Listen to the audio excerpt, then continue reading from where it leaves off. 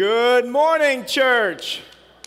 Good morning, good morning, good morning. I think this two service thing is gonna work, two services uh, thing is gonna work out. A lot more comfortable in here. Good to see everybody. He has risen. Come on. He has risen. Amen, amen. We do have a a couple of things uh, for you to know. There is um, communion that we're going to be taking today. If you don't have communion, make sure you raise your hand and our ushers will get you one. Also, there are flowers in the back. If you don't mind, by the end of service, uh, if, just go back there, take a flower, and put it on the cross uh, for us. Uh, I want that cross to be decorated with flowers by the end of our second service as well. We're so glad you're here. I'm glad you're here. Thank you for joining us uh, on Easter Sunday and also those who are watching online all over the world. I know one person watching from the UK. So glad you guys are, are tuning in with us online. Um, but let's pray as we begin our Easter service today. Father, we love you. We thank you so much for all you've given us. Thank you for your love and your grace. We thank you for the resurrection that changes history. It is because of the resurrection that we are here, we are celebrating that we are forgiven, that we are reconciled with you, that the future is bright because you're there and you meet us. God, we thank you for forgiving us for all the things that we have done and all the things that we're going to do. Thank you for forgiving of our past, our present, and loving us even into our futures. We thank you for your son Jesus, who died and rose, that today we declare victory. It is in the name of Jesus that I pray.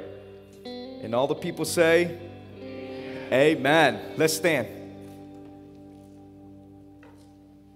Above all powers, above all above all nature and all created things,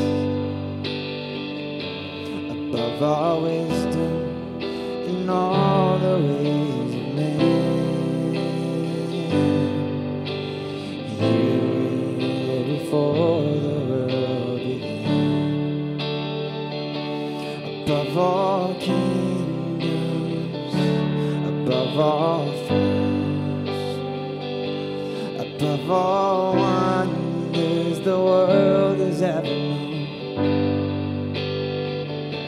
Above all wealth and treasures of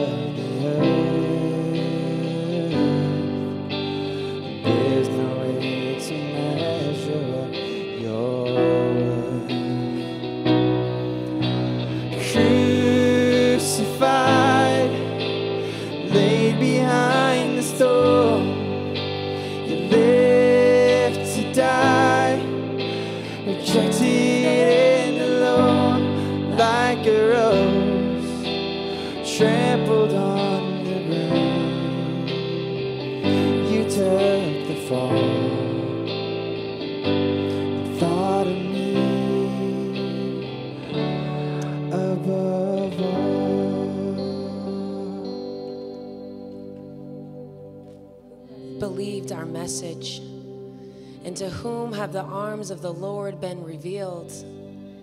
He grew up before him like a tender shoot, and like a root out of dry ground. He had no beauty or majesty to attract us to him, nothing in his appearance that we should desire him. He was despised and rejected by mankind, a man of suffering and familiar with pain like one of whom people hid their faces. He was despised, and we held him in low esteem. Surely he took up our pain and bore our sufferings. Yet we considered him punished by God, stricken by him, and afflicted. But he was pierced for our transgressions, and he was crushed for our iniquities. The punishment that brought us peace was on him, and by his wounds we are healed. We all, like sheep, have gone astray. Each of us has turned to our own way, and the Lord laid on him the iniquities of us all. He was oppressed and afflicted, yet he did not open his mouth. He was led away like a lamb to the slaughter, and like a sheep before its shearers is silent, so he did not open his mouth. By oppression and judgment, he was taken away.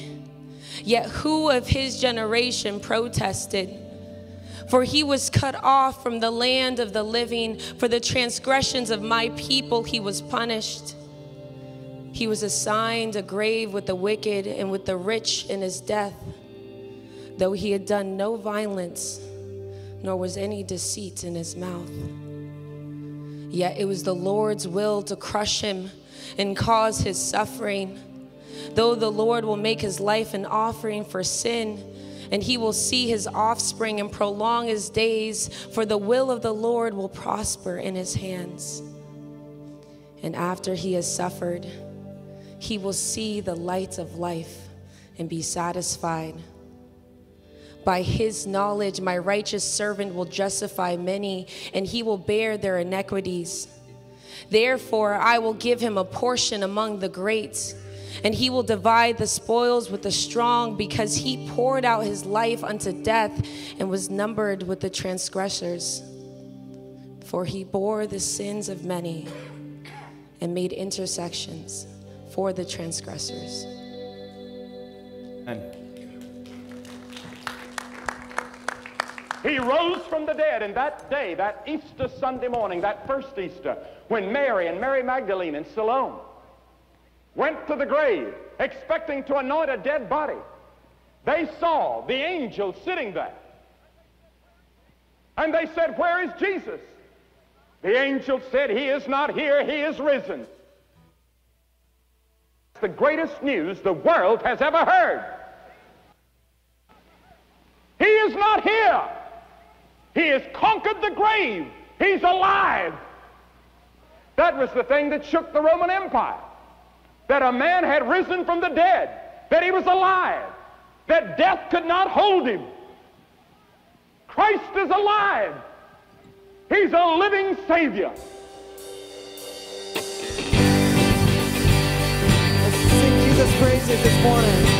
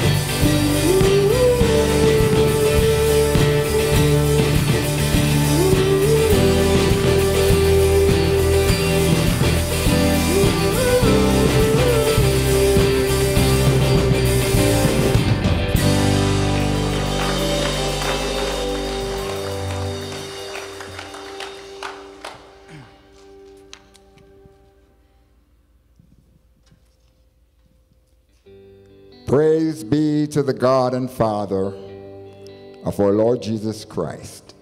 In his great mercy, he has given us new birth into a living hope through the resurrection of Jesus Christ from the dead,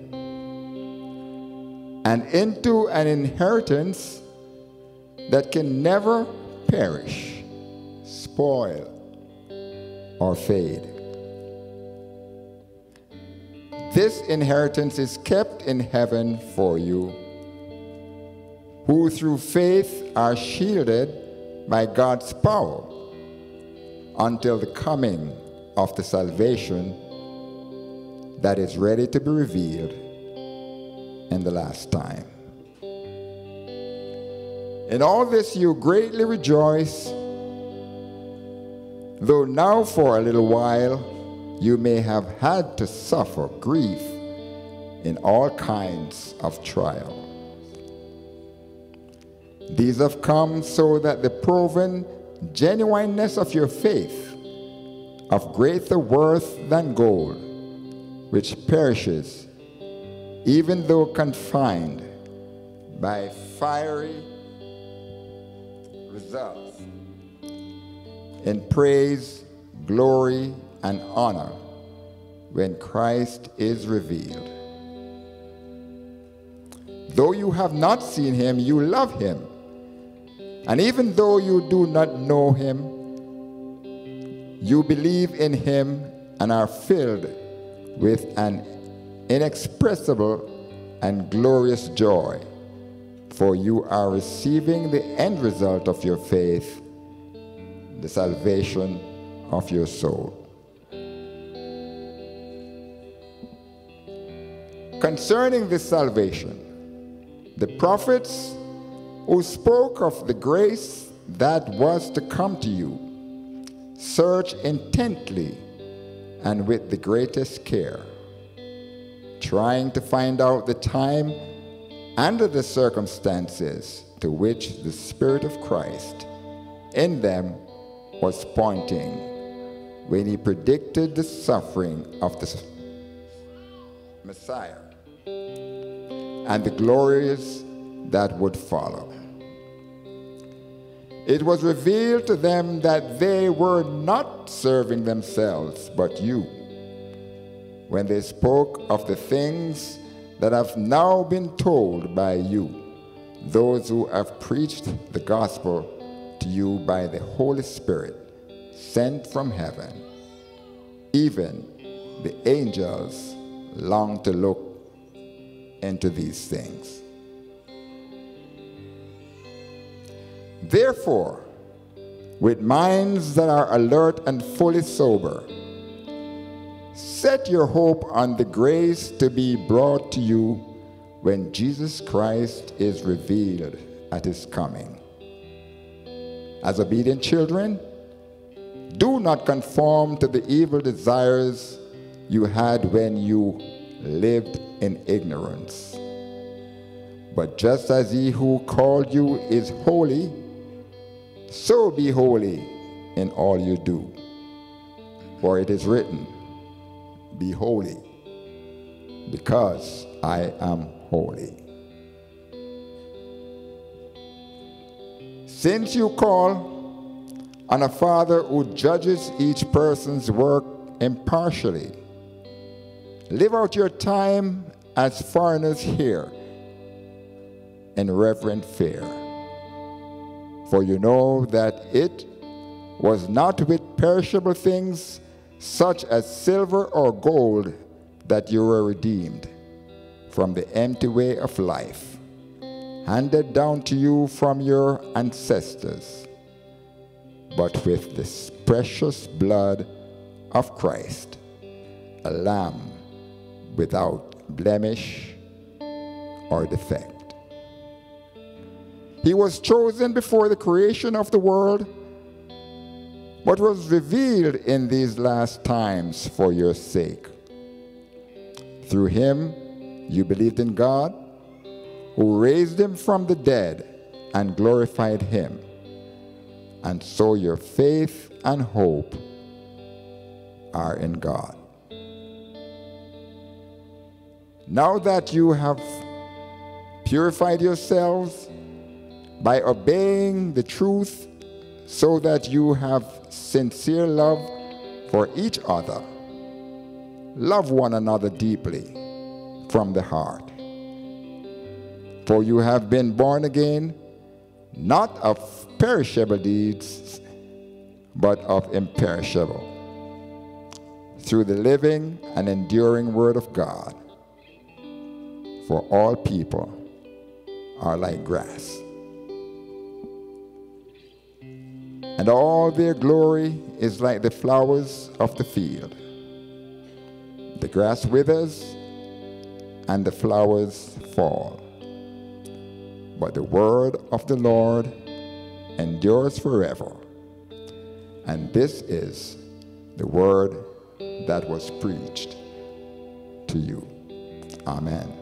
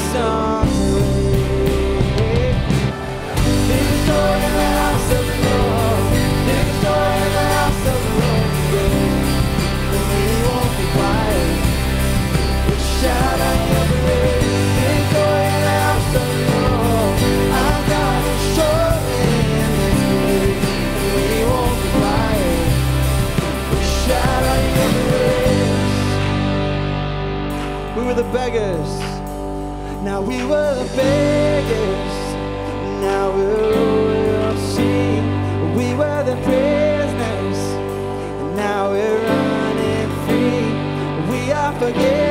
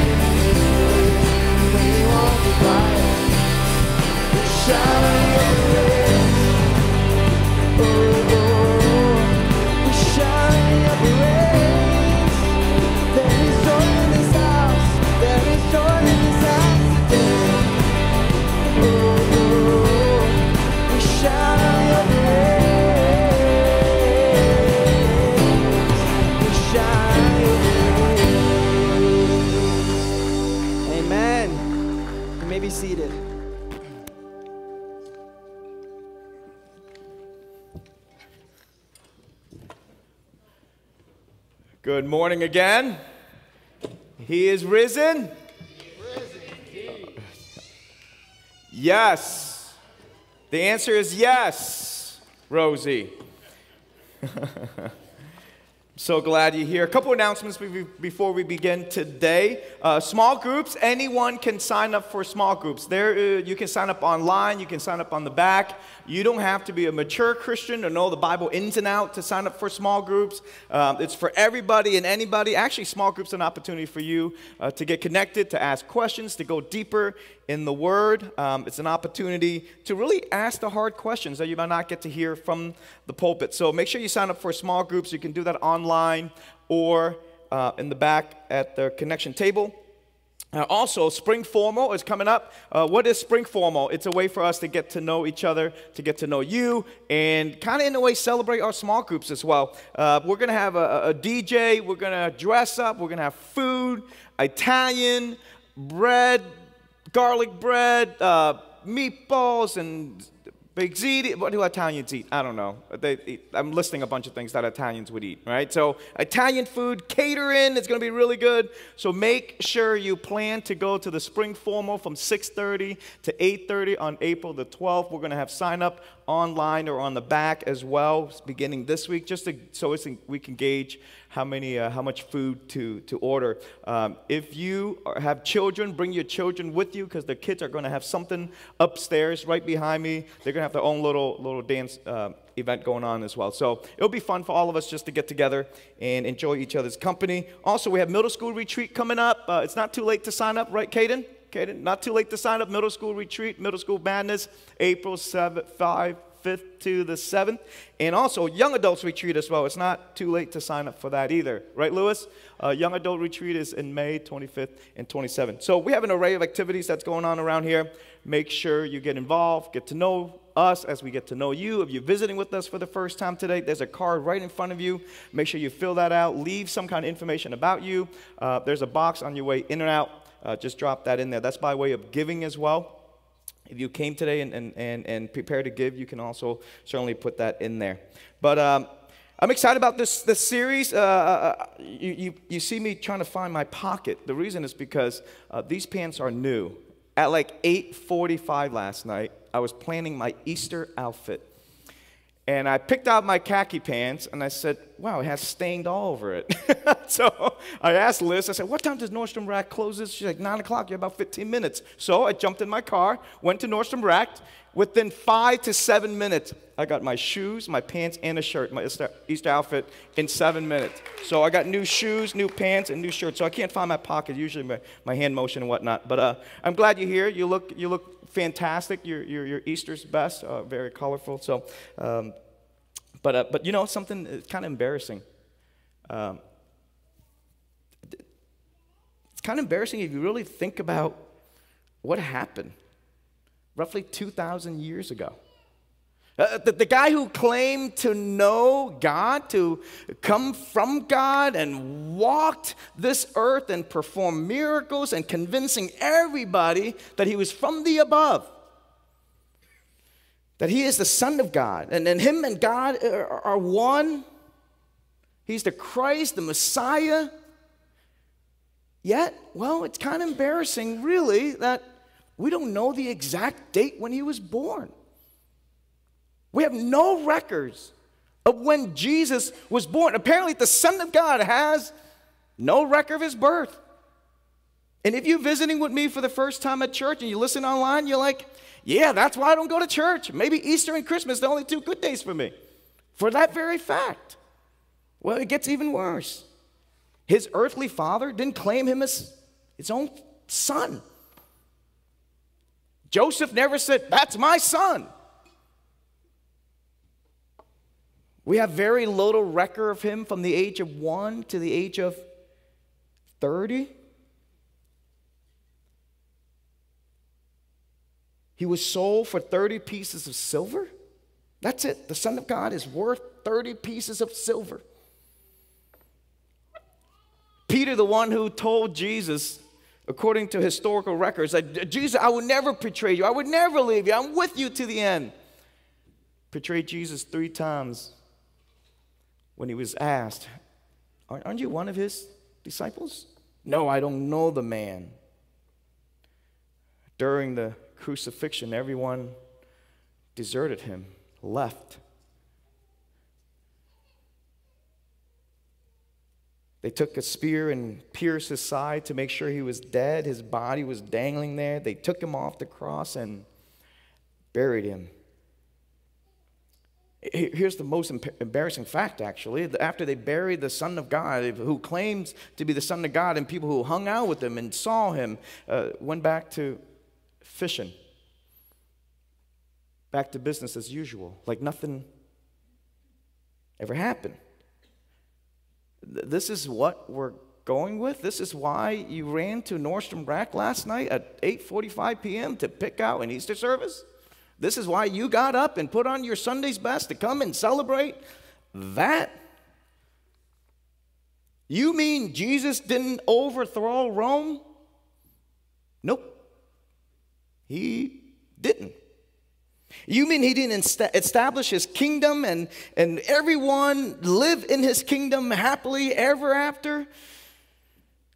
Nope. Didn't do that either. And that's what we're going with. This is uh, the, the religion that we started. These are the guys who follow Jesus, listen to his teachings, watch him perform miracles, watch him heal the sick, watch him walk on water, watch him feed 5,000 people with three loaves of bread and two fish, and they, they picked up even the leftovers. Watch him cast out demons. And sometimes Jesus went from place to place without even anyone noticing him. And they went back to fishing. Business as usual. matter of fact, John historically recorded that, that Jesus did many other things. If it wasn't, uh, uh, if it was written down, I suppose that even the whole world would, have, would not have room for the books that would be written. They can't keep everything that Jesus did. But they went back to fishing. Business as usual. Uh, that doesn't sound like a good religion to me. Matter of fact, that sounds like a scam. Uh, that sounds like we all been tricked, brainwashed, uh, taken advantage of. Made us look like fools to follow this Jesus. But, but, but, you know, that doesn't make sense either because if that was the embarrassing fact. If that was, if Jesus was a fraud, uh, the writers of the Bible wouldn't put those embarrassing facts in there about his followers. If I was to create a religion, I would probably write my followers were all six five and above, muscular dudes bad dudes with swords riding on horses, with capes flapping on their backs, and going into every nation that was oppressing people and wipe everybody out. They were victorious. They fought days and night. They didn't even eat. They lived on nothing. They were uh, hunger. Their, their, their, their thirsts were, were filled by other people's blood. I would make this story about my religion as if like no one can even go up against my men. Amen? That's the kind of religion I would have written. But wait, we, we, we do have that. He died at 632 AD, 600 years after Jesus. He started one and he died. In 632 AD, 600 years after Jesus, his body was buried there in the Green Dome. The Islam founder, Muhammad, conquered the Eastern Empire, Persia, Ethiopia, and he's buried there in Saudi Arabia. And his body, it's still there today. Before him was Rome, before the Romans were the Persians. Before the Persians were the Babylonians. Before the Babylonians were the Philistines. Before the Philistines were the Egyptians, and so on and so on. And kingdoms rise and falls, and they comes and they go. And their leader claims to be God. Well, well, well Pastor New, what about Buddhism? What, what about the, the Asian people that I grew up, that I was a Buddhist growing What, what about them? What happened? Well, that's where Buddha was cremated and stored away. That's his grave. But here's an interesting fact the Savior of the world, Jesus, here's his tomb. The, the Savior of the world, Jesus, can you pull up his tomb? I know the uh, look at my media guy running around. I, I didn't tell them this, right? It's a joke. It doesn't exist.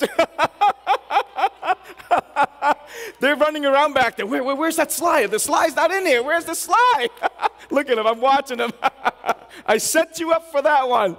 The tomb of Jesus doesn't exist. Historically recorded, this is what it was written. He is not here. He is risen as he said. He is risen. Amen. He's not here. This very statement has been studied History has tried to burn this away and bury this and destroy it. They try to kill anyone who claimed that. But you can't kill something that is alive and it's a work of God. Amen? We don't have a specific location where Jesus is buried. We have no relics to remember him by. We have an unconfirmed location of where he was buried. We think, we don't know for sure. We have an unconfirmed shroud that the historians been studied over and over and over. This could be the cloth that wrapped Jesus' body. We don't know for sure. Some thinks they have pieces of the thorns that was put on his head, and Indiana Jones still is searching for the Holy Grail. Why? Maybe the reason is because he rose from the dead and he has written, risen. An early Jewish historian, Josephus, this was written in the, in the Jewish antiquities, stored away only 30 years after Jesus resurrected. This is what a Jewish historian wrote about him. Uh, about this time, there lived Jesus, a wise man. If needed, one ought to call him a man for he is one who performed surpassing deeds and was a teacher of such people as accepted the truth gladly. He won over many Jews and many of the Greeks. He was the Christ. When, upon the accusations of the principal men among us, Pilate had condemned him to the cross, to a cross. Those who had first come to love him did not cease. He appeared to them, spending a third day restored to life. For the prophets of God had foretold these things, and a thousand others marveled about him. And the tribe of the Christians who called after him has still to this day not disappeared. Amen. That is a Jewish historian wrote this down and kept it away. The entire Jesus event, it's a work of God. The, the focus is placed on the resurrection of Jesus because it's just as God has designed it, the way we rise with God, it's more important than how we die here on earth. Jesus did not ask us to remember his birth but he asked us to remember his body and his blood sacrificed for us and rose on the third day for us. Amen. The resurrection changes everything. Judas, who betrayed Jesus for 36 pieces of silver, went and hung himself because of guilt. Peter, who denied him three times, took the message straight to Rome and died for it. Can, can you imagine? Just 40 days earlier, you watch Jesus died on the cross at the hands of the Roman soldiers. 40 days later, you went to Rome and you said, This man that you killed, it's Christ and Lord.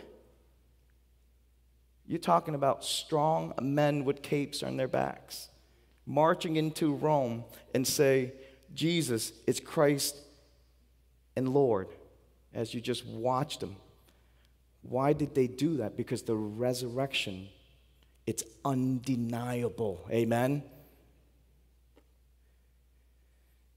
There was a Jewish man, high regards in his circles, a very educated man who initially hated Christians, wrote these words For I deliver to you as first importance that I also receive that Christ died for our sins in accordance with the scriptures. This was written 20 years after the resurrection of Jesus by a man who hated Christians.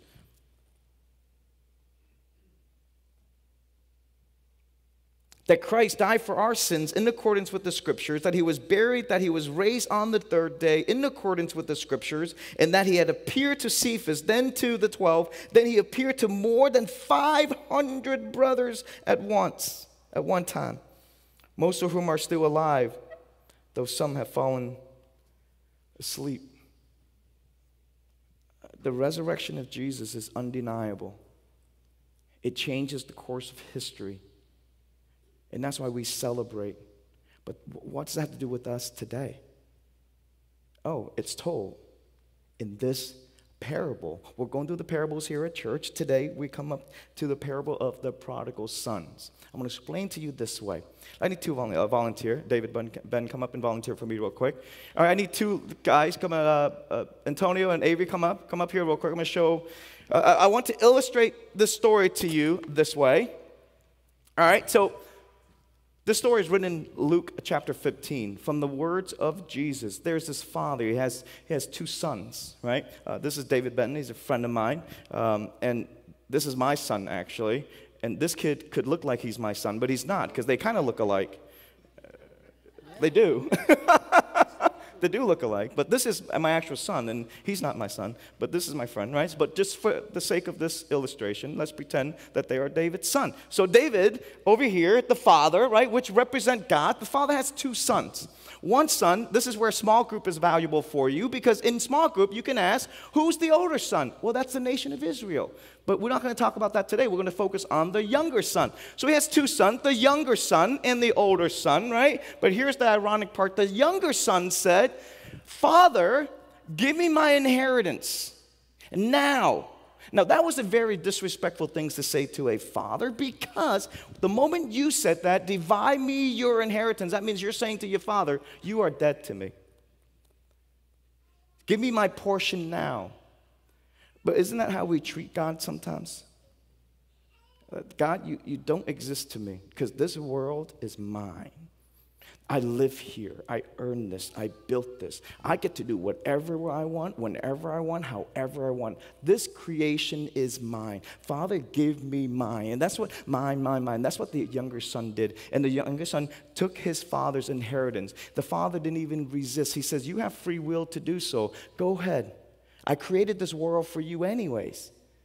It's yours. The son took the inheritance and went far off.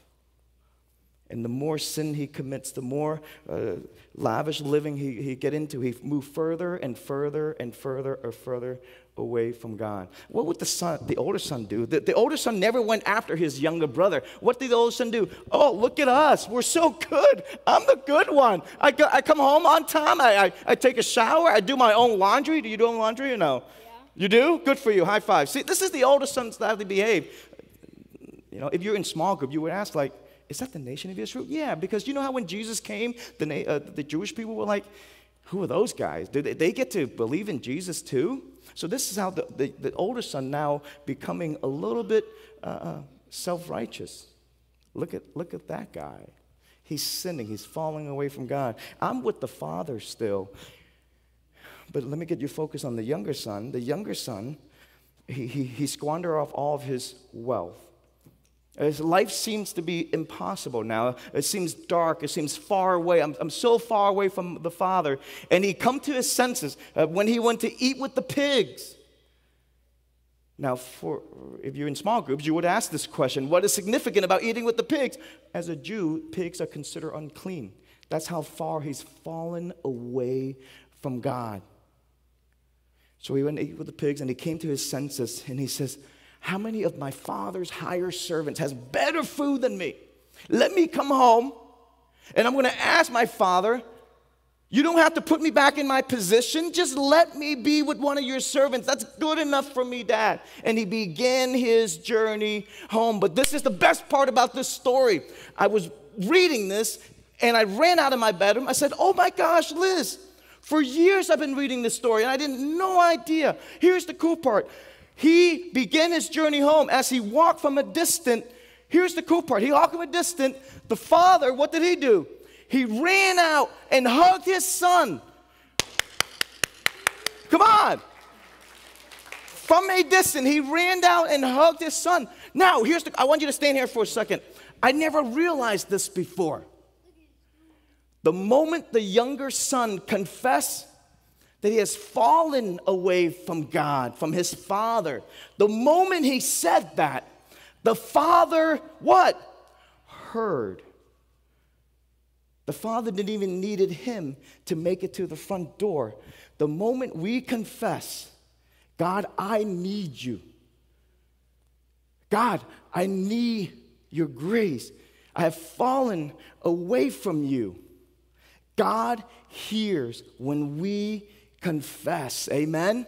He doesn't even wait. He didn't even wait it for the younger son to make it to doorsteps. The moment the younger son showed up in the lawn, he ran after him. What an incredible moment. I just I realized we're not home yet. We, all of us, the older brother, the younger brother, all of us are on our way home because of the resurrection. Amen. The resurrection begins the journey of us coming home. God is giving all of us an opportunity to confess to Him God, I am coming home. That begins our journey home. Amen? Let's give him a kind of applause. That was pretty good. I hope that makes sense to you. and then, if you were in small group, you would ask the question, well, hey, what, what about the, young, the older brother? Why was he having a problem with the younger son coming home? I'm not going to tell you because I want you to sign up for small groups. That's good Bible teaching, right? That's good Bible teaching. I'm not going to tell you. Sign up for a small group. The Resurrection Sunday is God calling the lost to come home. We're not home yet, but we have an opportunity right now to begin our journey home. And when Jesus comes back, he's going to run towards us and he'll give us a hug and he says, I heard you. I heard when you cry out to me when life seems impossible. I heard you confess to me when you feel like you are so far from me. I heard you when you cried out, when you confess, when you beg, or when you praise, when you sing. I heard you when you read my word. I heard the words when you say, God, forgive me. Today begins our journey home. God doesn't care about your, your, your past, your mistakes, your sins. He's seen it all and knows it all. And yet, you are never too far from His grace. Paul described love this way that, that love is not easily anger, and it keeps no records of wrong. And the scriptures say God is love.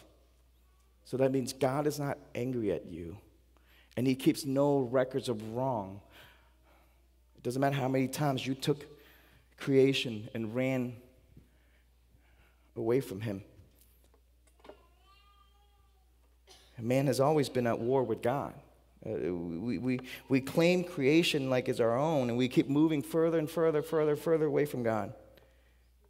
And this past Friday and yesterday, Seems like God was defeated. Throughout history, people tends to say that man killed God. But the resurrection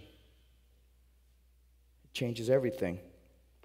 As the, the band come forward, the, the, the resurrection declares that God is not dead. He won. The Bible it's His word to us. It is the authority of our lives, the, the world we live in, even though sometimes it seems like evil wins, doesn't it? It seems like evil uh, always outdone the church. But in actuality, when he returns, he will restore his creation to its perfection. Uh, my, my, kids subscribe to uh, World Watch News, and it's, it's a 10 minute segment of just world news, no politics, no, nothing. They just report the news. And, and whether the news was sad, scary, or disappointing, or frustrating, at the anchor, at the very end of the segment, he always says this whatever the news, the purpose of the Lord still stands. Amen? The resurrection is God's declaration, victory over sins, and a calling for us to begin our journey home.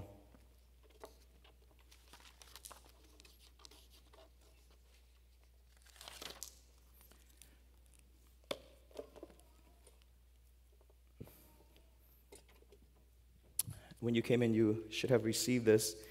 And if you don't have the elements, raise your hands, our ushers will we'll bring that to you at this time. Uh, I, I, have a love for fishing. Um, I love to fish. Matter of fact, I, will probably go out tomorrow. Uh, if you want to come out with me fishing tomorrow, you're more than welcome to. I'm not sure if my boat will make it back, but we're going. Um, I'm just warning you. Thanks for the warning. But, but I have a love for fishing. I got my first fishing kayak um, about 10 years ago.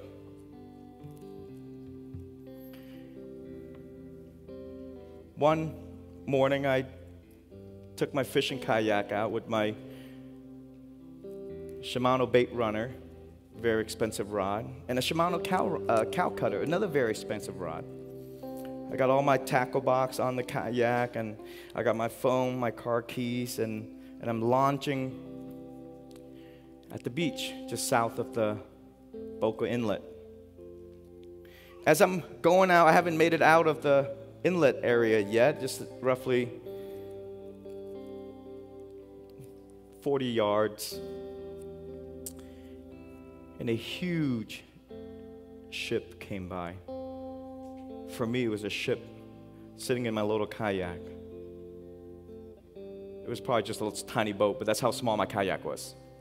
And it created these swells. It was my first time ever going out on this fishing kayak. So I'm holding it steady, and one ship after another. I forgot that I live in Boca. Everyone has ships, right? I'm the only one with these tiny things, and everyone else has big ships and yachts and whatnot. So one after another, the swell kept getting bigger and bigger, and, and one after another, I couldn't stop it. And I lean over trying to balance myself, and as I lean over, my kayak flipped. I lost my tackle box. I lost my car keys. I lost my phone. I lost my Shimano bait runner. That was probably the most important thing. And my fishing rod.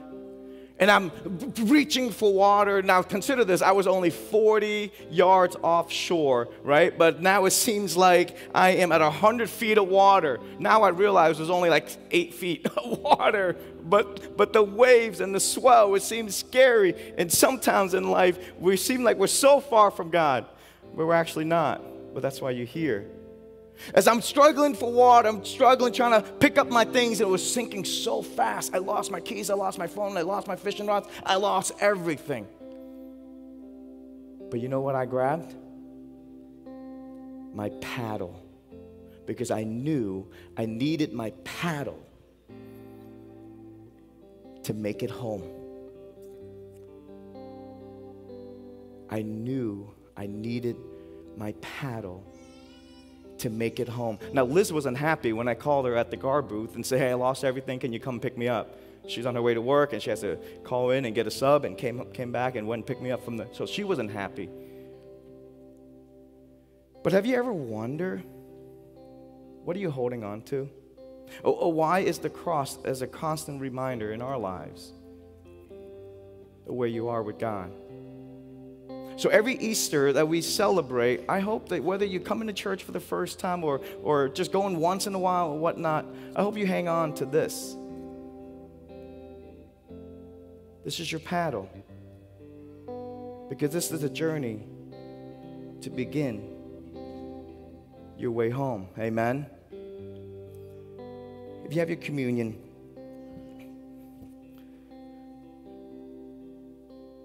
Jesus says, This is my body for you. You have in your hands these elements. That he said, This is my body for you. He says, Do this in remembrance of me.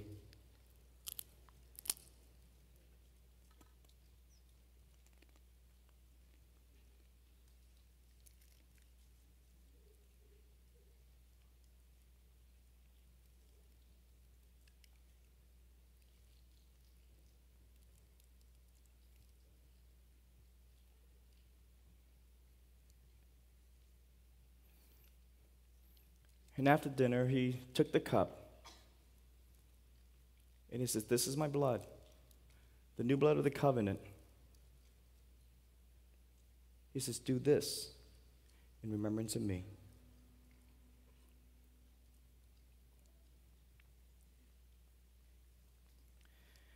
Father, we thank you for the resurrection. We thank you that through your grace we are saved that we can't deny, we can't escape. The greatest day in history. That humanity was saved through the cross. And because you live, we begin our journey home. It is in the name of Jesus that I pray. Amen. Let's stand. We're, we're going to begin a moment of worship, just a couple more songs to celebrate what you just heard and what today is about. In the next few moments, our elders will be up here. If you never accepted Jesus Christ as your Lord and Savior, today could be your day. They're here to pray for you. We have a baptistry right in the back. And you say, Today I want to come home. I want to begin my journey home. I have change of clothes for you. I have a change of clothes for me, and we have a baptistry right here. But don't leave today without telling God, I'm coming home. As our elders make our way forward, let's begin our worship.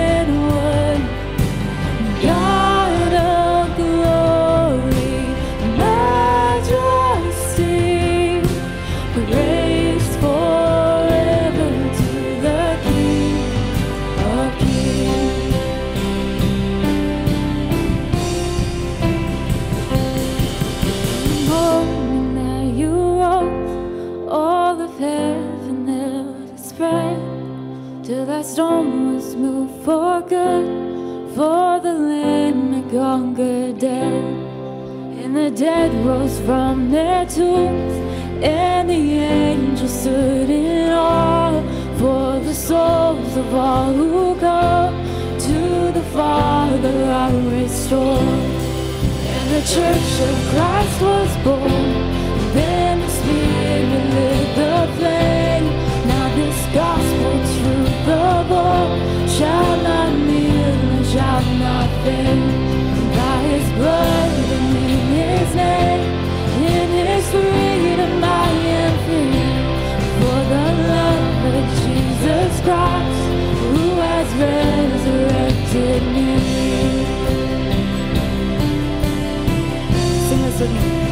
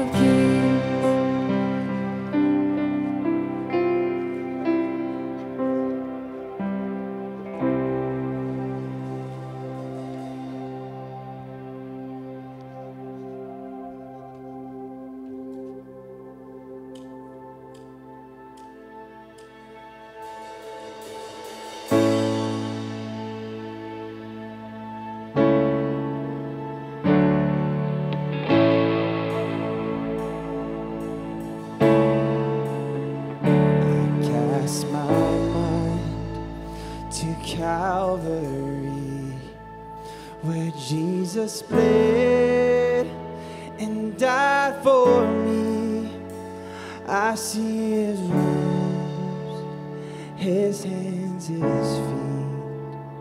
My Savior, on that cursed tree.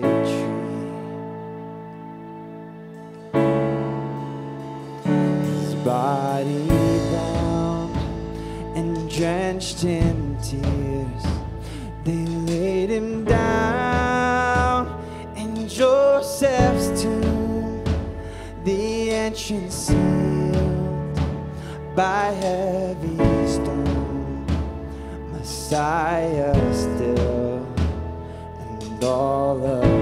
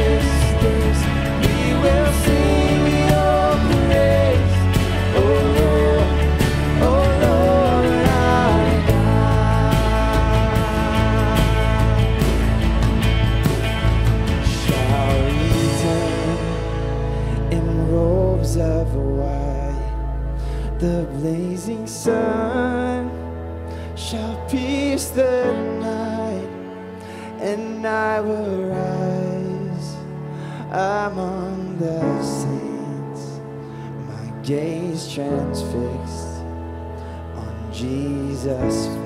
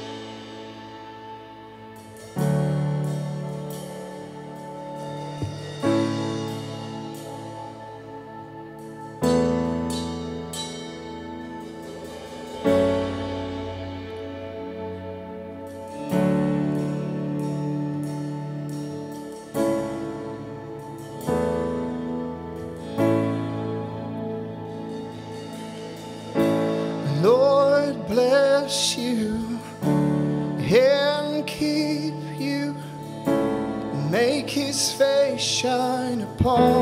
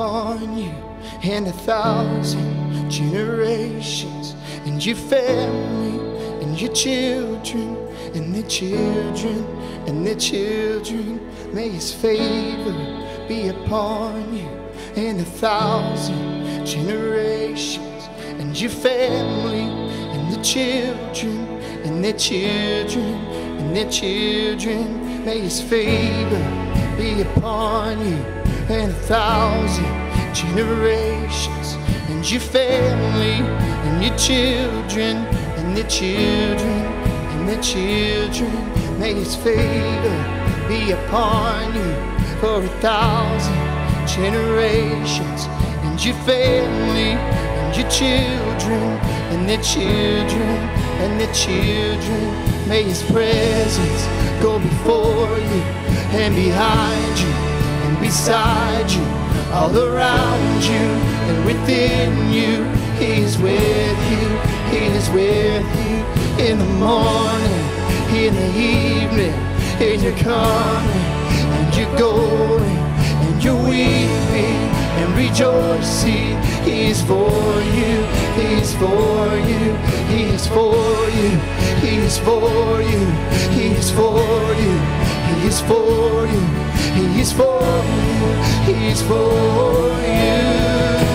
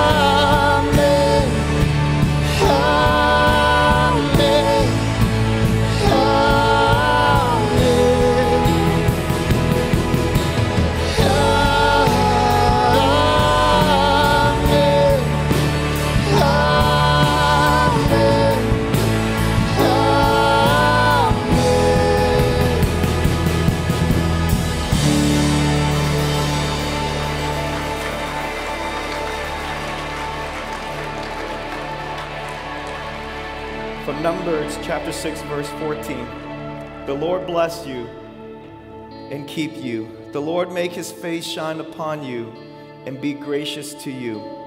The Lord turn his face towards you and give you peace. The word of the Lord, amen. He has risen. God bless you. Have a wonderful, wonderful week.